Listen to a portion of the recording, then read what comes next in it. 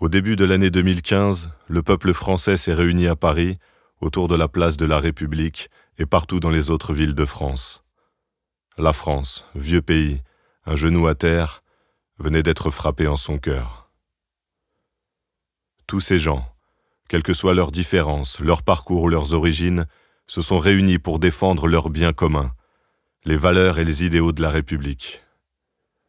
Cette République, si flamboyante et si fragile à la fois, née il y a plus de deux siècles, a déjà dû surmonter bien des épreuves. Tout commença en 1789. Cet été, après des siècles de monarchie, la Révolution gronda en France. Des femmes et des hommes, avec une audace magnifique, s'inventèrent un destin commun.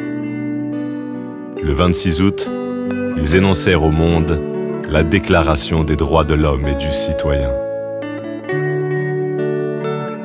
Après avoir secoué le joug de la tyrannie qui les oppressait depuis toujours, ces femmes et ces hommes prirent les armes pour défendre ce trésor si précieux et rêvèrent à ces trois mots. Liberté, égalité, fraternité.